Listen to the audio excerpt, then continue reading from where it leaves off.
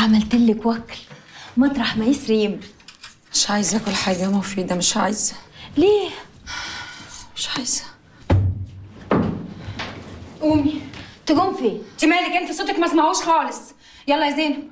يلا عشان نروح للمأمور نقول له إن جبريه كانت عايزة تموتك. يلا قومي. مفيش طلوع. بنت انتي أنا من ساعة ما نزلت البلد وأنا نفسي أرقعك رصاص أجيب أجلك. وعندي استعداد أعمل ده دلوقتي يا شمس. من القلب للقلب. أنا كمان عايزه أمسك زمارة رقبتك وأطلعها في يدي. كفاية كده؟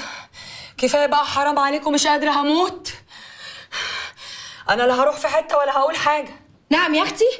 وأمك اللي مرمية في الحجز دي بسببك. أنت كنت عايزة تموت جبريه علشانك. كل ده ولا همك؟ لما يجي مروان رجالة العيلة هي اللي بتحل الكلام ده مش إحنا. كفاية بقى حرام عليكم. رجالة العيلة. رجالة العيلة ولا راجل العيلة؟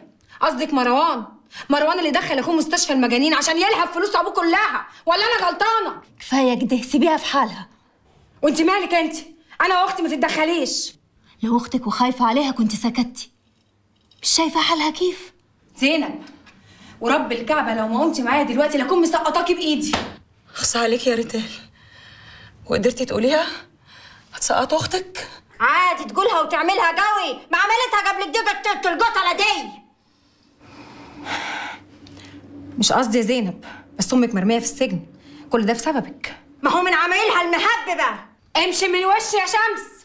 امشي انت مشش في ركبك يا بعيده انت مش واخدة بالك إن البيت ده بيتي وإني ممكن أطردك في أي دقيقة وأقول لك اطلعي بره وما تلاقيش حتة تلمك؟ بنت انت أقسم بالله العظيم هديكي علقة تخشي فيها المستشفى تقعدي فيها شهر. وريني. اطلعوا بره اطلعوا بره بره مش هيشوف حد بره